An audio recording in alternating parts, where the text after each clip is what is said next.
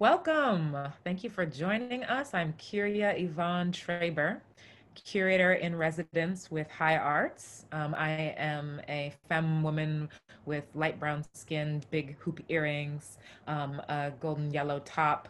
Uh, I'm sitting on a pink chair, and there are plants on the wall behind me on shelves. We are grateful to have ASL interpretation today by uh, Brandon Kazin Maddox.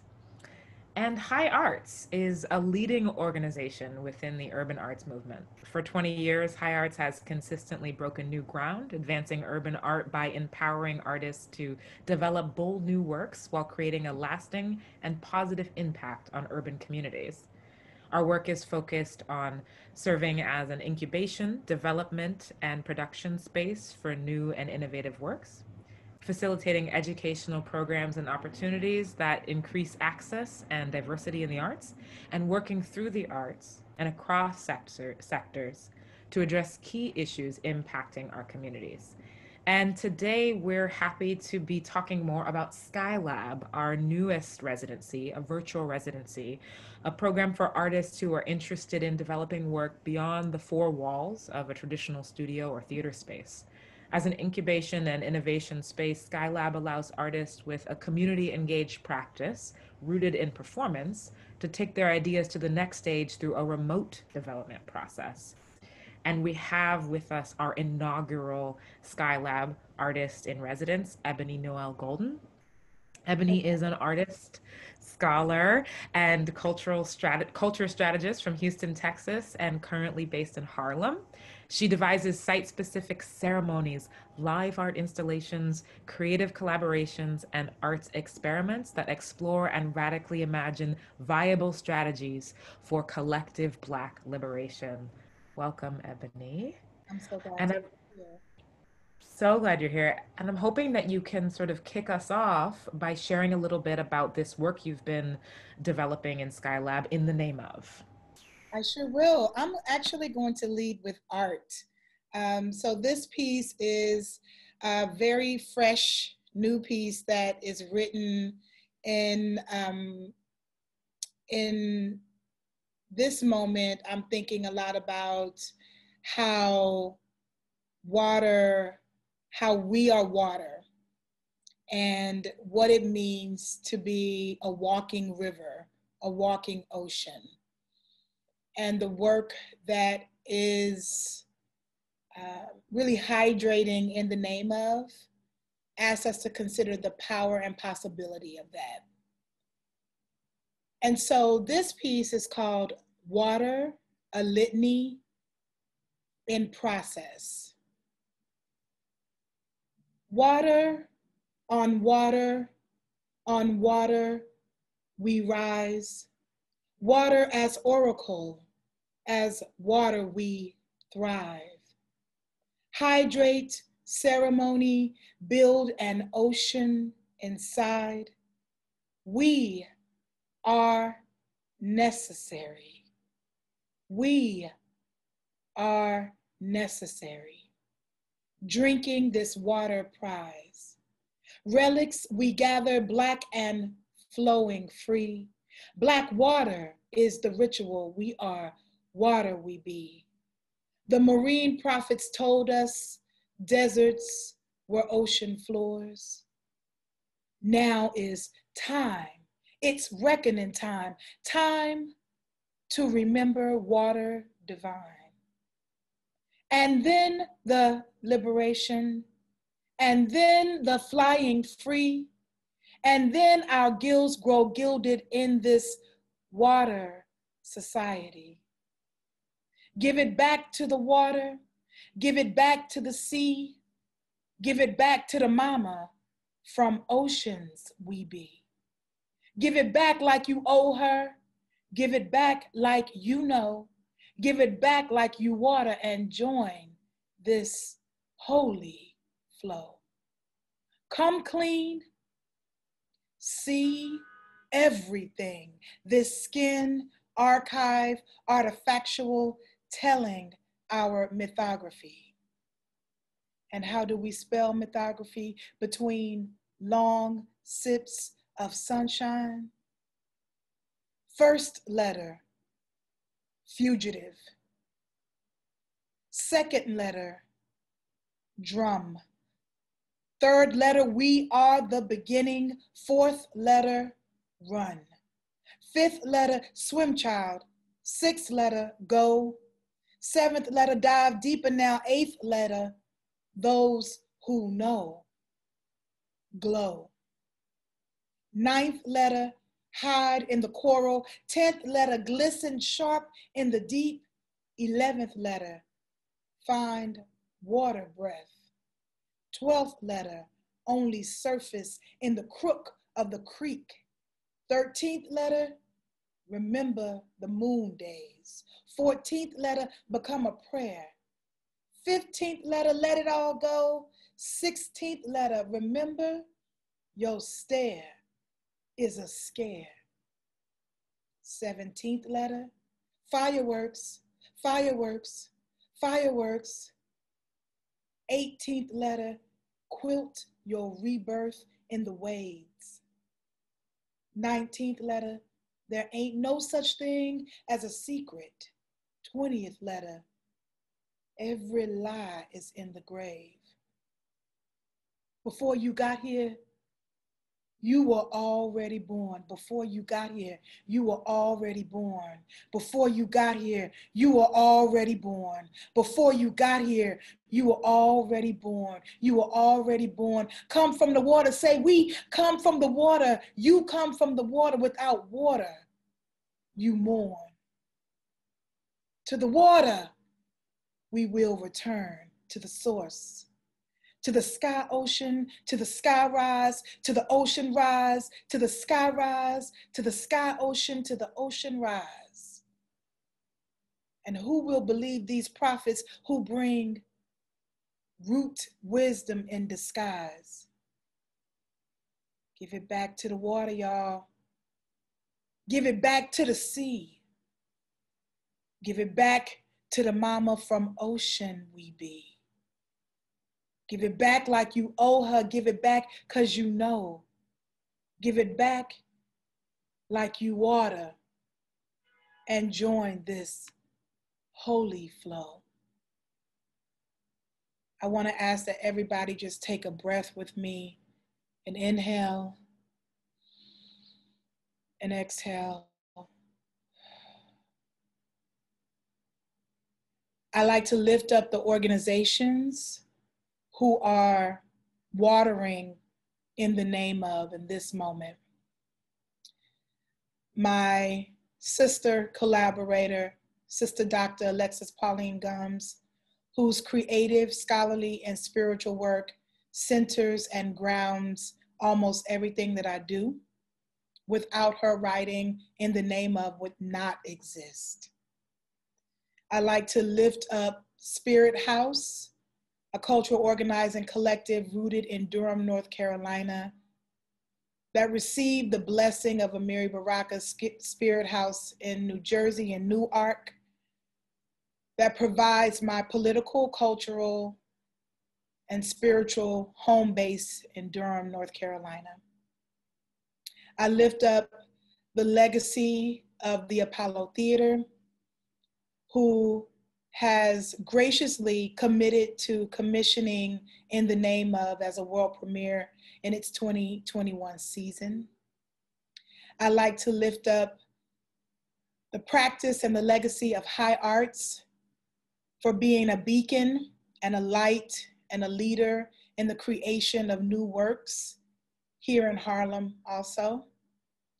I like to lift up the life and the legacy of Toshi Reagon, who has committed to serving as creative advisor for the production of this work. I like to lift up my residential development partner, Double Edge Theater in rural Western Massachusetts, and all of my family there working through a radical spiritual and cultural Jewish lens to bring new works to the world in public spaces, on farms, in lakes, and streams in Western Massachusetts and beyond. Stacy Klein, who is my mentor and the founder of Double Edge Theater. I would also like to lift up the network of ensemble theaters who's providing development money for this work. And in the midst of all of those people, there are many, many more organizations and folks and legacies and lineages that make it possible for me to work, um, for us to work. And in this moment, I love to just put Ashe and life and water on Dragonfly and Kristen, who've taken time out of their full creative and organizing lives to be in conversation about this process um, all light and love and deep, nourishing waters to us. Ashe, thank you for all of that. And let me uh, bring a little more light to these two guests that you just mentioned. So we have with us also two of the makers who have been part of this Skylab devising process with you. Uh, we have Dragonfly. Um, and Dragonfly is Robin Laverne Wilson is Miss Justice Jester, conceptual artist, performer, storyteller, ritualist, writer, facilitator, educator, circle keeper, curator, cultural warrior, tambourinist, dean of details, activist, photographer, filmmaker, scholar, minister, ecologist, accidental senatorial candidate, Texan New Yorker, uh, Maafa descendant, nerd, queer, eclectic, eccentric, curious, lover of all people and pronouns. Welcome, Dragonfly. And new cat mom. And new cat mom. Thank you. And we have Kristen Adele, um, who is currently hailing uh, from, or is perhaps originally from um, uh, Dallas, Texas, and is currently in Accra, Ghana we'll find out more.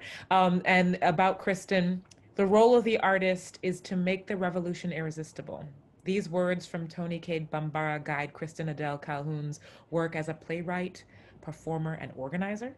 She's the founding program director of Art Change US and co producer of Interfest, an intersectional arts and ideas festival that began at the Harlem School of the Arts, and many other things, as is everyone else. So, welcome, Kristen. Could we do our accessibility introduction because I've just forgot? Absolutely. Okay. I'm yes. Ebony Um, I'm, I am a dark brown woman.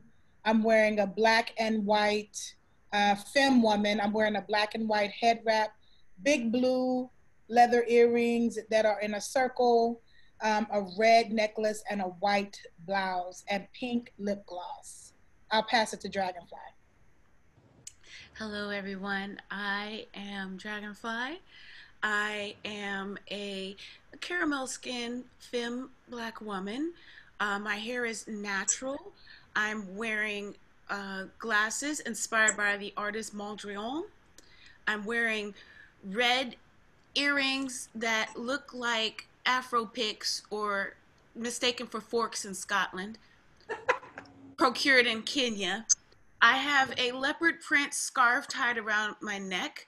I have a pin stuck in my hair because I'm a nerd and a geek. And I would describe my aesthetic as Afropunk sexy librarian. Passing it to Kristen. All right, all right. I'm Kristen. I am sitting here in a black chair. Behind me, there is a piece of art on the wall that has four ancestors walking toward the camera there's a dresser to my right. It has a stack of books, including Emergent Strategy, Half of the Yellow Sun, Assata, Working Cures. On top of it is a bouquet of yellow flowers, or I'm sorry, pink flowers that I just got out of the garden. They were yellow before, but now they're pink. Um, I'm wearing a yellow dress. I have braids. I have brown skin, and I have silver and white beaded earrings hanging down in purple lipstick and a light glaze of sweat on my face because I am indeed in Accra, Ghana. And it's, you know, it's warm here all the time. It's beautiful. You better come through with the intentional aesthetic curation, my friends. Thank you so much. um, so we just um, received so much from Ebony, some incredible poetry that um, was making me feel both thirsty and um, nourished with water at the same time. Um, and an, a list of some institutional supportive names. And then I just brought you two in the room because you have actually were a part of the devising process in this um, Skylab process. Mm-hmm. Ebony, I know that there are many more. Even there are more um, makers that have been a part of the devising as well. And I'm curious about that part. If you could speak to who you chose to be in the devising lab with you and what led to those choices. Yeah. So here's the thing. You know, when initially I was in conversation with Hi-ARTS, I had a huge ask already. And the ask was, you know, when you have a commission, you still have to make the work. And I live in Harlem. Um, my work is about Harlem in large part right now, um, and in, in communities that are adjacent to Harlem. And I need to rehearse in Harlem. I need to be able to get to Harlem sites and locations very easily. And so I thought to myself, who could I go back to? And or who could I go to? And it was, I mean, it took me literally a millisecond to say, well, let me just call High Arts. And that was is because the last ambitious work that I created started with the leadership at Hi-ARTS saying, What you doing, girl? We want let's see what we can do and help you. And that is such a, a good calling in for me. Like, what are you doing? And let's see how we can help. And so I went humbly, but with a bold ask. And you know how it is when artists are like, "High institution that didn't curate me. I didn't apply, but I have a I have a project. Can we talk?" You know, they can be like, "Girl, we got an application process and a curator in residence, and you just want to jump steps."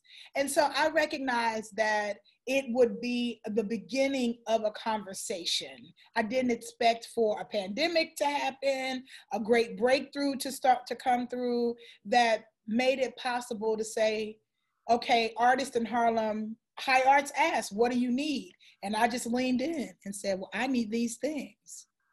But did I know who was going to be available. No, I didn't. I don't even, I'm not going to even play myself like that and act like I knew all the answers. I just knew that during this time I needed to be in process, right? And that I had hired, um, retained a casting director. We were about to go into auditions. I was about to bring all of these people together, actually for two projects. And then all things stopped mm-hmm. so in that stop, I mean, because when I'm not making work, I'm a consultant. So I sat on the couch for two weeks, like I don't have no idea what's going to happen. But then when the emails started trickling back in, the all of the the emails were like, okay, so what are you up to now that this is happening?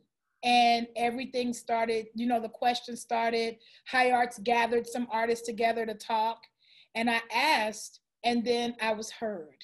And i want to i want to just speak to that. And i've spoken to this off you know the zoom but i want to just speak to what it means for Hi-ARTS to be relevant responsive nimble and have in, in its dna you know some hip hop aesthetic about it, which is about being emergent and flexible. Not a lot of organizations could figure out what to do with theater when you can't go into a building. And so, you know, to to to to that end, once the organization said, "We see that you have something to do here.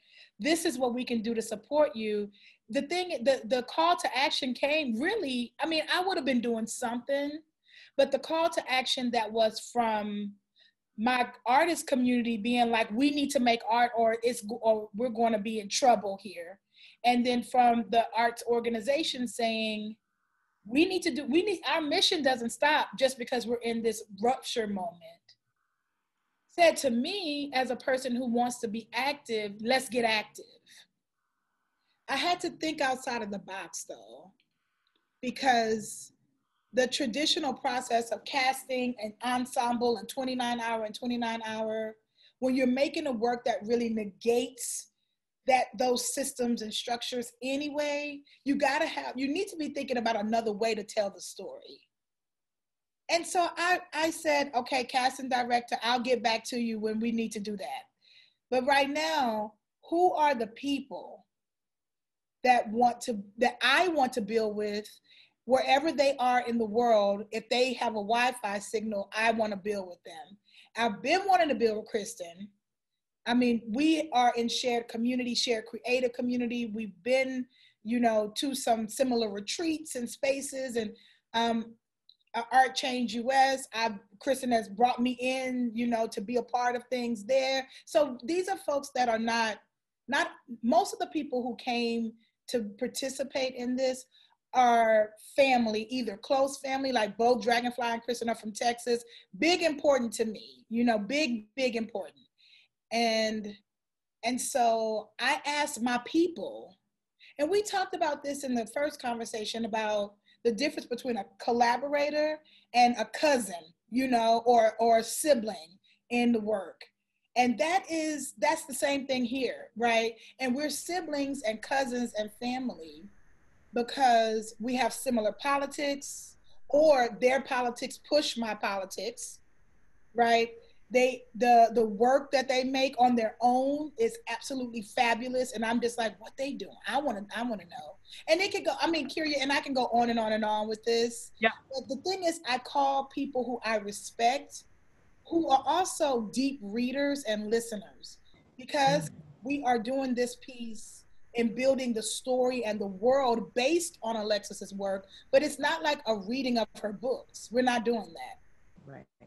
Folks who are deep readers and can extrapolate and like see a thing based on that very important. And i'll say one more thing and then I'm, I'll, I'll move back. One more thing about this piece is that i was able to actually build the ensemble to be like a jazz ensemble mm. think about sharon bridgforth's work dr omi osun and joni l jones work and the jazz aesthetic is that you don't just have all horns in the room. You don't just have all pianos. So I was able to build a jazz ensemble with people on performance, acting, with people on sonic vocals, with people on images and visual art, all in the room at the same time, which typically those folks come in at different phases and stages. But as a person who's working in you know, theatrical jazz, ceremonial jazz. You know, it is absolutely imperative that the choreographer and the composer and the, the digital design person and the dramaturg are in the room at the same time while the work is being built. Mm-hmm. So it's there's a depth and a nuance and a bottom to the way that this work will continue to grow because of that integrity, that architecture that's at the core of it. Yes. Excellent. Thank you. For... I want to hear from Kristen and Dragonfly.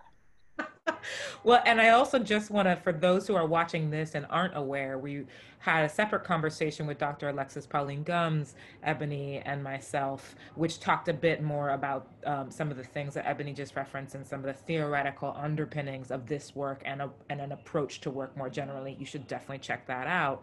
But speaking particularly about this and the jazz ensemble, I want to pass it over now to Dragonfly and Kristen. You can decide um, who wants to answer first, but I'm curious about what your role and roles might have been in this process and how that might have been different from what you would normally do in a in the room, in the studio, in person residency, this virtual process.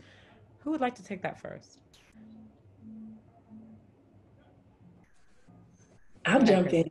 I'll, yeah, I'll jump in. So Ebony, I love this description of a jazz ensemble. I know, you know, you used that description when we were in process too, and it, it really feels accurate in the sense that when you called me, I didn't know what my role was going to be. I just knew you called, you know, and I, and like I said earlier, when you call, I'm to say yes. So I just showed up and brought all my tools, just brought the whole tool bag. It's like, what you need.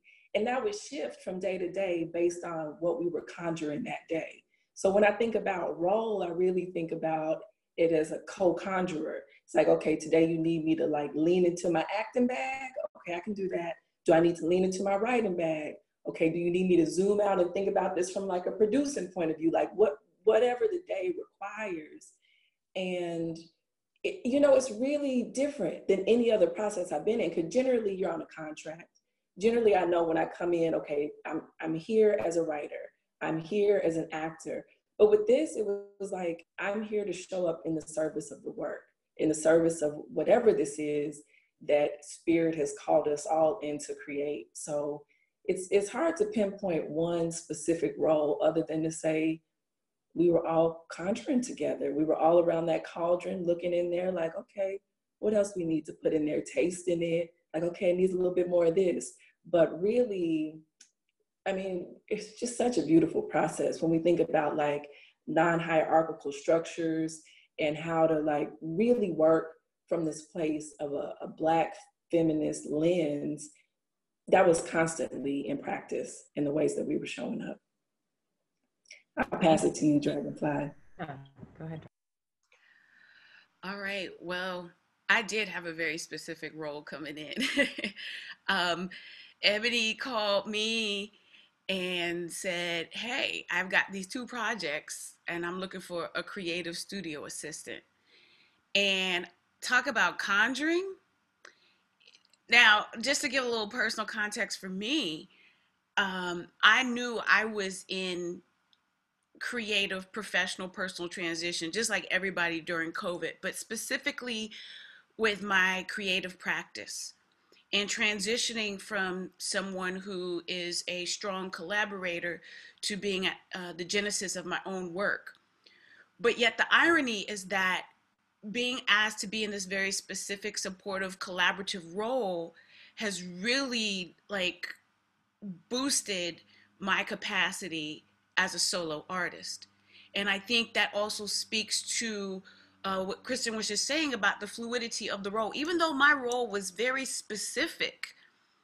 And I, I feel that being an admin in that sense is also an art form. Um, I talk about how I get I get sexually aroused by spreadsheets and and give me a good slide deck and I'm moist. Like to me that is that is art just as much. You know, there's the order and then there's the chaos. What'd you say? Sign.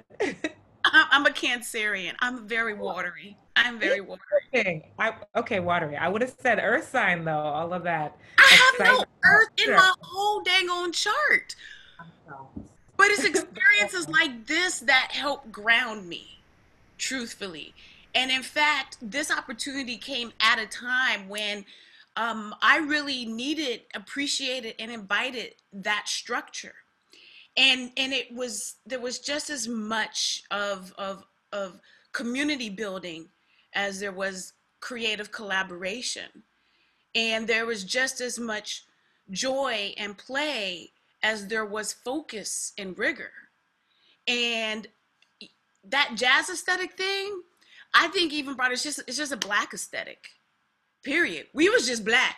We just showed up black. And showing up black is like is being fully authentic, fully present, you know, totally authentic and transparent about who you are and where you are in that moment. And I also realized that a huge benefit from this structure of the process. Of course, it's always give and take you lose when you're not there in person, but you gain something when you're able to take out the commute, that time that's lost, the hustle and bustle. If you're an empath, you picking up all that crazy subway energy. And instead, you in your house, you in your element. And you can you can you know still have the speaker going and and still be creating while you go to the bathroom get you a cup of tea you you you know whatever. And and that i think really really enhanced the creative process because it was that much more of us and our full selves being brought into the room and into the process I'm really interested in that. What are, are, there other things that were unique to this virtual process that might have unlocked surprising benefits? What, what else was um, creatively inspiring about meeting in this way which m- many I'll, I'll, just name for the audience many folks think of this as restrictive as shutting down possibility as preventing us from doing what we what we know what we've been doing so enlighten us help us get inspired or or just speak for yourself you know? What what was different about this that was positive? one of our collaborators would always be outside on the back porch and you know like i'm eating breakfast. I cook this beautiful thing and i am on the back porch and this is what it is today. Or i'm at the kitchen table. Or i'm on the couch or i want to be in this room because i want this light. Like your home is maybe even thinking about it like your first performance space. And to be able to think about the worlds that we are building inside of this work and do that from where you are building possibilities for yourself in your home, you know, in your room, on your porch, feels like a way in which to go back and forth in, in terms of like go into and out of a portal. And what and uh, you know that felt very comfortable like very good to me. We're asking people to see harlem as a space of possibility as a as a, a space where the neighborhood and june jordan's skyrise architectural plan mother plan and all of these you know visions are on a on a lived space how do you do that on stage if you're not doing that at home? I mean, I think it's a deepening of a, of a performance pedagogy. Seems very relevant to me. Kristen, I see you want to get in there. Yeah, I, I mean, Ebony, I love that you brought up the mother plan because it felt like you mothered us really through the process. And because we were at home, we were able to really lean into that and have access to our things. I think about the day that you had us make altars with our things, or the days, because that, that happened more than once. I think about the day that we checked in and we were tired. Everybody needed rest, and you told us to go lay down. You know, and that being as important and as rigorous as anything else that we did as a part of the process and how you know that's not possible in the same way when we're in a rehearsal space to build an altar you know i could i could go get the things out of my pocketbook or my backpack but it's not the same as having the full access of my home things so and, and also just having access to to food and, and care in a different way. Like i could eat when i needed to. I could turn off the video and just go to the bathroom. I didn't have to wait for a 10 minute break. And just being and cared for and thinking about how that really enriches all work, I think, and this work in particular, when we're thinking about how we mother, you know, what it looks like to, to provide the best possible care for everybody. Drawing in from our uh, previous conversation with, with Dr. Gumbs, we talked a lot about the homework um, in in multiple senses of that word of making art with this black feminist and, and eco-feminist lens and i'm struck with how um, it, it it i mean i'm sure you, this group would would make do in all kinds of places and spaces but i'm imagining what might be lost if you had to as you said like drop everything at home, bring what you can carry on the subway and go to a studio, which is for reasons that are entrenched in institution, sterile in, in many ways. And how different that is for the making and the sense of um, you know pulling from our literal environment as we um, conjure and evoke together. How much that just makes sense you know it, it, it's a different thing to pick up that sense of home and take it with you to the creative space as opposed to be rooted in it that's really powerful. Um, I also I'm wondering, Dragonfly, if you could speak a little bit more to what is a creative studio assistant, and maybe what did you think it was, and and what did it end up end up being? Well, it's a beautiful question. well, let me tell you. You know, I'm gonna start this with a little anecdote. When I was about, I'm thinking no more than seven or eight years old, because this is when I was still a little girl in Detroit. My father had me sit down in front of a dictionary. He had me look up the word metaphysical and read the definition. Then he had me look up the word empirical and read that definition. And then, in a very patriarchal way, he said that I was too metaphysical and needed to work on being more empirical. But on top of all of that, my favorite toy as a little girl was his typewriter and his glue sticks and his exacto knives and all of that. So uh, I think, like, to me, the creative studio assistant is like being a librarian. And, and and and I mean it's a lot of information flying at me. So I got my spreadsheet on so many times. And um but the great thing about it too is again working with Ebony, working in this jazz aesthetic, working in a non-hierarchical way. I don't have to completely suppress or sublimate my creative self.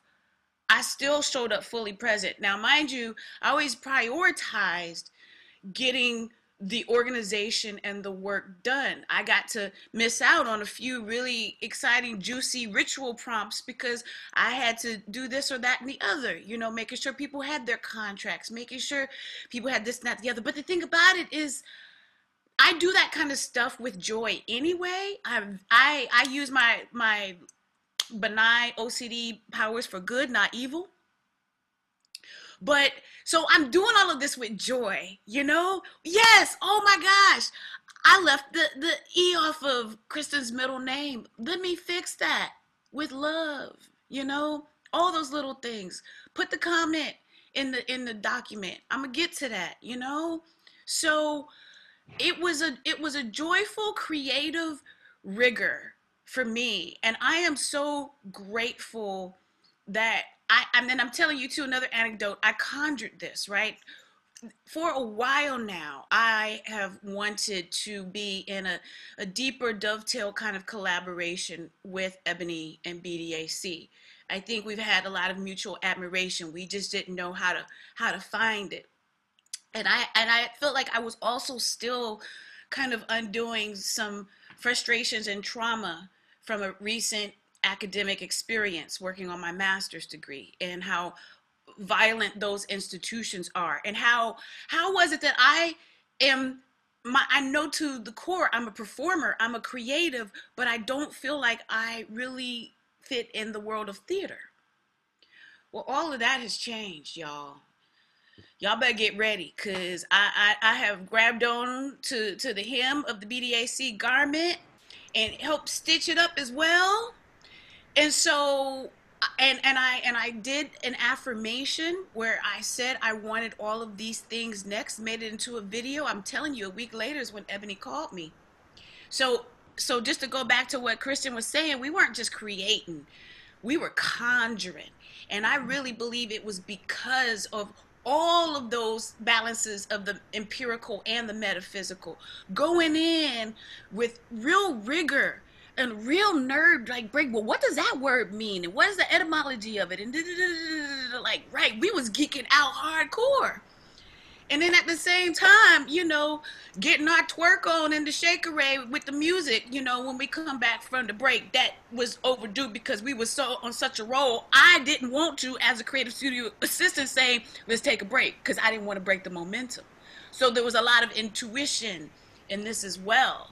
And I felt like in my own way, I got to be a mother of the mm. process as well, a, a co-nurturer, and it's still going on. I mean, he's still sending me, "Yo, put this in the mother document." We don't say master plan; we say mother document. I just want to. I have to say, I'm sorry, I'm jumping in, Kirya. Here's the thing that I want: if, if people who watch this don't pay attention to anything else, I would love for folks to, especially folks who, Black folks black femme folks, I want to just speak one for one moment and say, you want to build you a tribe of folks that understand womanism and black feminism as a technology that you can place anywhere and that is the skill set you need right? So it's not like oh we're not being professional because we got to go take a, a rest break. Oh we're not being professional when we need to take a nap.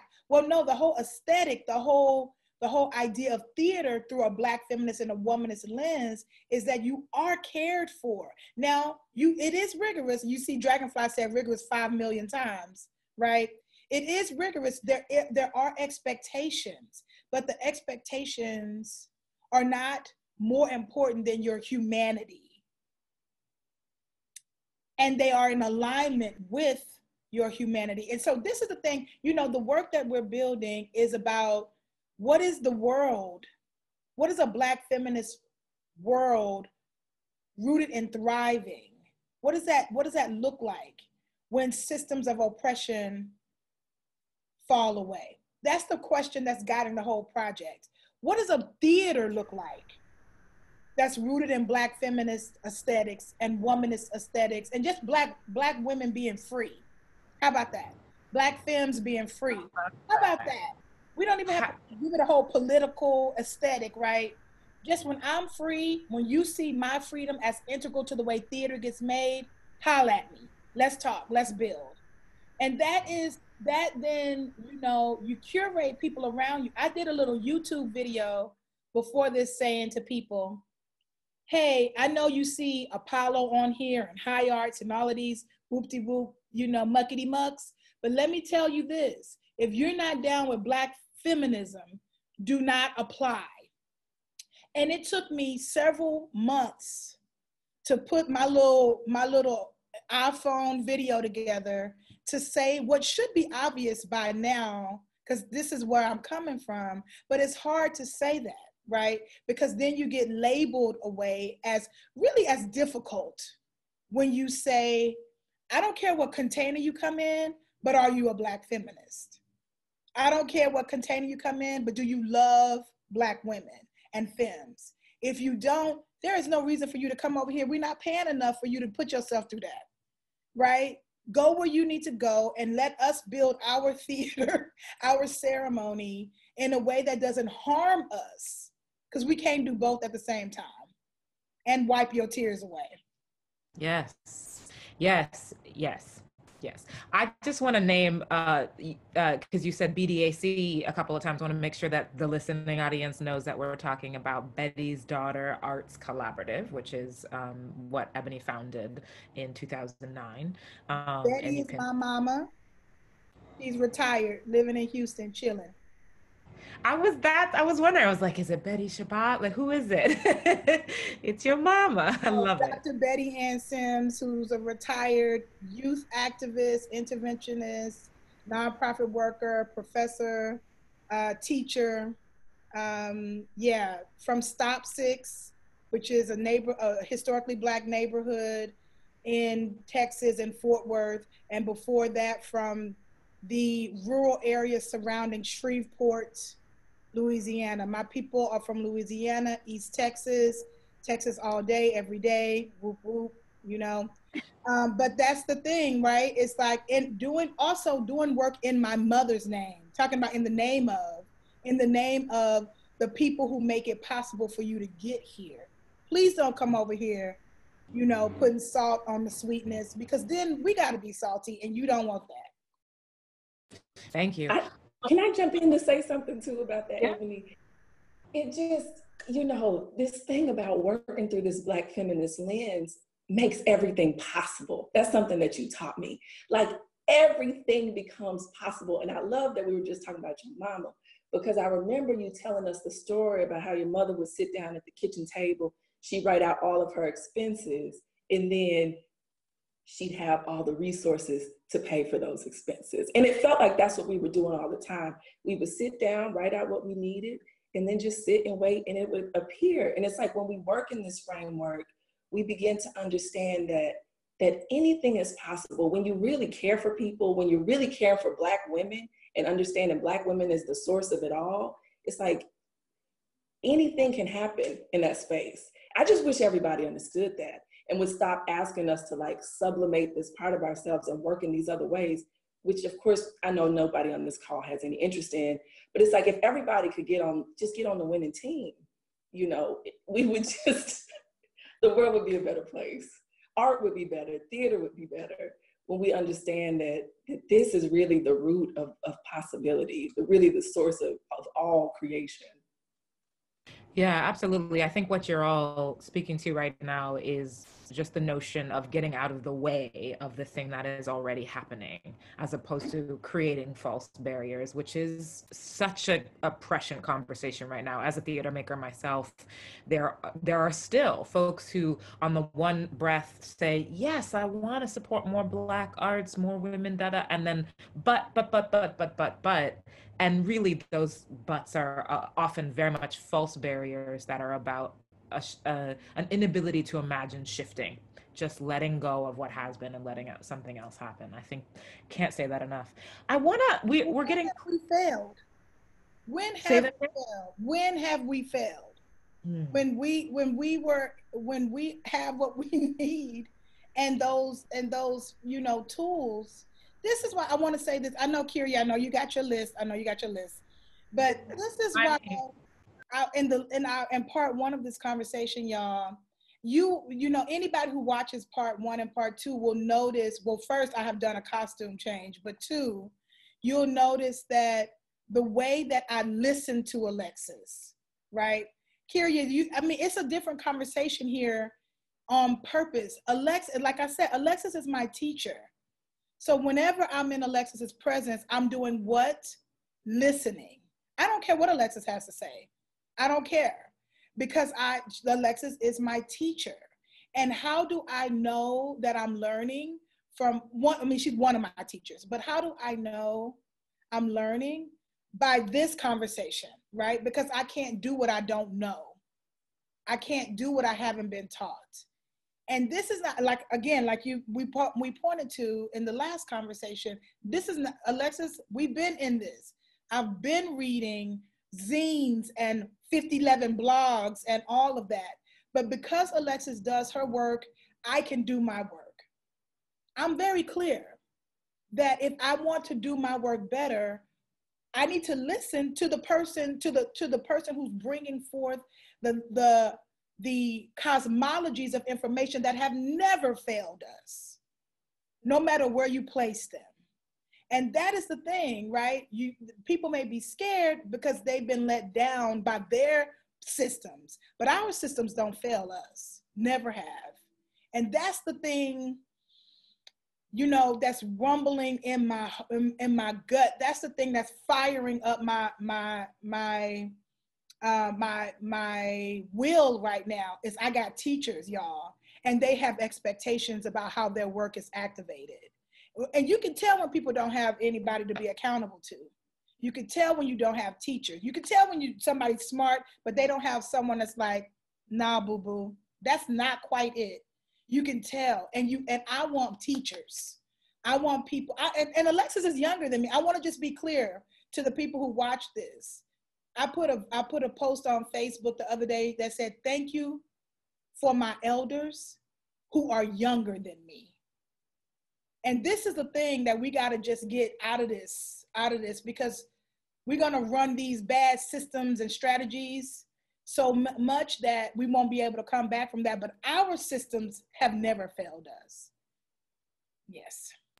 Thank you. Yeah, so I'm I'm trying to get a, a time check because there are 70, 11 questions I could ask y'all, and I don't want to open up a can of worms that we can't finish some things that are on my mind you know i just want to briefly name i don't know that we have time to go into all the things this could mean but i think it's interesting in your piece in the name of ebony we know that harlem is an incredibly important place an incredibly important site. It will be where the ceremony um, the performative ceremony ultimately happens. And also you had collaborators from Ghana and Texas and other places um, joining in on this process. So there's there's a way in which I'm I'm curious about um, the virtual process allowing a different kind of diasporic collaboration than we've seen in a long time, um, so on and so forth. Another thread we could follow, you know, Dragonfly, you told us to watch out, and I'm excited about what, what was going to happen next. I'm curious about how each of you might be thinking about activating virtual making separately from in the name of for you kristen and dragonfly those are curiosities I have. Let me just see what our time check is, see if I can actually let y'all answer any of these questions. Well, we got 10 minutes, so uh, does that I'll jump in. Uh, because I am I am deep in the throes of resuming a project that I, to, you know, tabled when the pandemic started, and because the pandemic started, thought I wouldn't be able to resume it. Uh, but now, actually, shortly after this conversation, I'm having my second production meeting, which includes a friend from Texas, uh, someone in California, uh, someone who is upstate, and so on. And also, another thing that I have done, um, learning how to. It's it's interesting how we got our time back because of the pandemic, but at the same time, realizing that much more how little time we have. So, this week has been an unprecedented week for me in terms of scheduling and busyness because I'm able to actually show up to so many places, including this conversation, without walking out that door and having to put on a mask. I put on my eyebrows, but I didn't have to put on a mask, you know? And and and realizing just how much you can get done before you have to physically be in person. And going back to me being, you know, that, you know, sexy Afro punk librarian mentality, I have used tools that have always been available to us but to a whole other level. Automate as much of the creative and logistical process as possible so that you have even more capacity for the actual creative stuff. That empirical side of it, get your Google Calendar popping, learn how to use Google Sheets. Don't be using Microsoft Word and emailing files back and forth. That's so 1996, you know? All of that.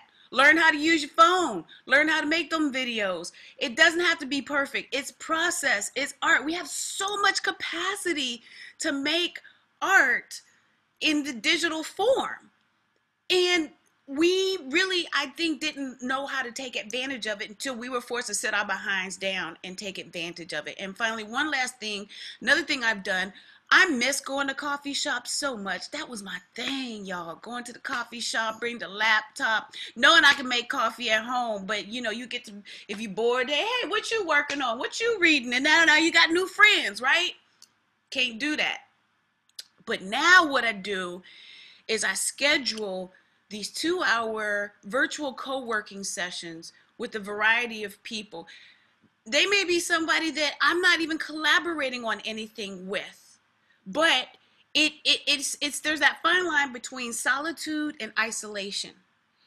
And so in order to keep it from being isolation there's a way that you can work in community while in solitude.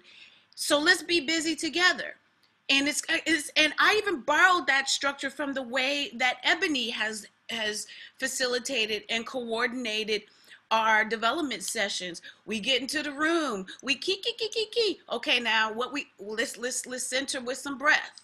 No, before we center with the breath, we set our intentions. Well, this is what I need to accomplish. This is what you need to accomplish. So we're like silent witnesses with our Zoom or Google Meet or whatever technology we're using open, maybe music playing, but it's like being in the coffee shop and I got the timer set up every 25 minutes. Take a booty break because if you sit on your booty too long, you're gonna get them varicose veins and sciatica and all of that. So don't do that because ain't nobody got time to go to physical therapy because you in lockdown. Get up, do your booty break. At the end, we check in. This is what I done. They have, I swear to God, I have gotten so much work done in those virtual co-working sessions than when I'm autonomous. Because when I'm autonomous, I'm playing with the kitten and um, maybe I should fold these clothes. So there's a certain amount of accountability that you get with this community making in a digital space so that when you do physically come together, then you can really suck the marrow out of that. And that, with that, I'm good. Thank you. I'm walking away with booty break and putting that on the on the on the daily reminders. Um, Kristen, is there anything you want to say briefly about collaborating from? What you doing? What you doing, Kristen? What you doing? Oh, well, I'm doing all kinds of stuff, but I want to talk about what I learned from this process that I'm taking right. forward into all that other stuff.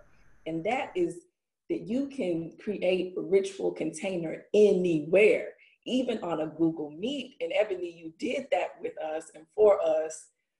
Oh, I mean, it's just that part blows me away. And so everything that I've done since or have been doing during this process you've really influenced um, my thinking and my practice around how do we really set intention like dragonfly was talking about how do we really like create a container for people of like this this is what we're doing and even with something as simple as like being really intentional about how we check in with folks and understanding that that is not uh, apart from the work that that is the work you know like my people also from east texas from the country and sometimes just the question of how are you, that's the whole conversation. Who your people, where who your people from, you know, that can be a job interview, just that question right there. So like that can be the work itself. So you you reminded me of that, of how even though we're apart, we're clear across the world, that we can still create um, a bubble, and we have to like put a sacred bubble around the work. So um, while we were in process, I was also curating a series of conversations in Memphis with Clayborn Temple. I've been in process with Jenny Koons and Jillian Walker, working on a new piece with them. And then coming forward, I, I'm, I'm honored to share that I'm one of the new I Am Soul playwriting residents at NBT um, for 2020, 2021. So, and everything that I've learned here, I will take into all those spaces when we think about ritual and creating from a Black feminist lens, I mean, this experience is leaving a, a beautiful imprint on everything that I'm that I'm making. Uh, thank you so much. And uh, for those who don't know, NBT is National Black Theater. Uh, which is also located in Harlem, uh, founded by Dr. Barbara Ann Teer.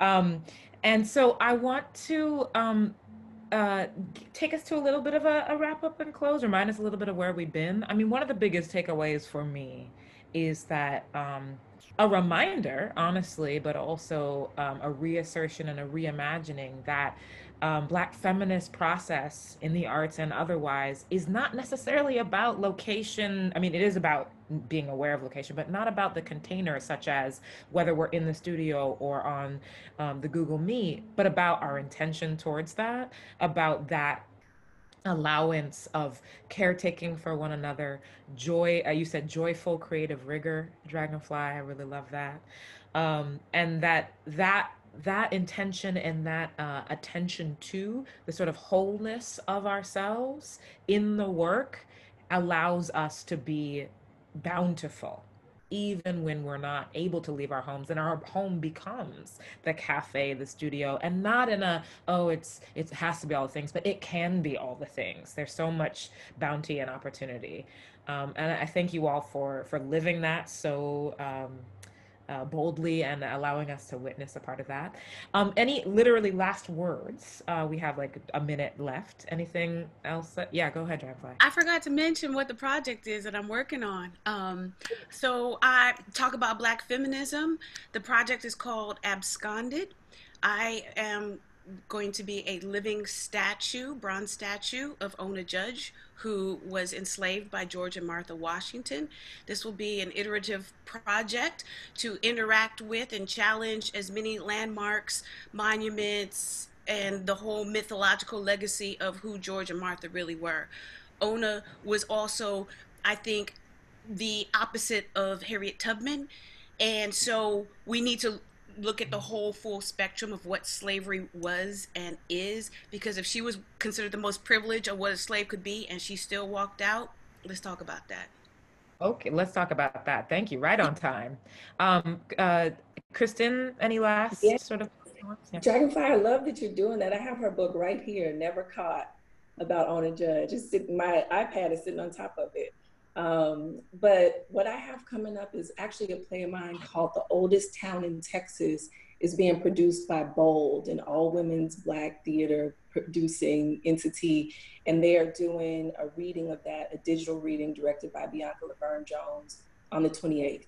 So I'm not sure when this will be shared, but if it's before that, people can tune in um, on the 28th through Bold's platform. 28th of August or September? Of August, of August. Okay. This will Yeah. probably air after that, but hopefully people can check out what comes next after that. Yeah, absolutely. Absolutely. Ebony, last thoughts? Yeah. Um, what's next for me is going to the ocean, um, which happens in 20 hours. Um, and then um, this fall, in terms of In the Name of, I'll be, I'm ready to make music.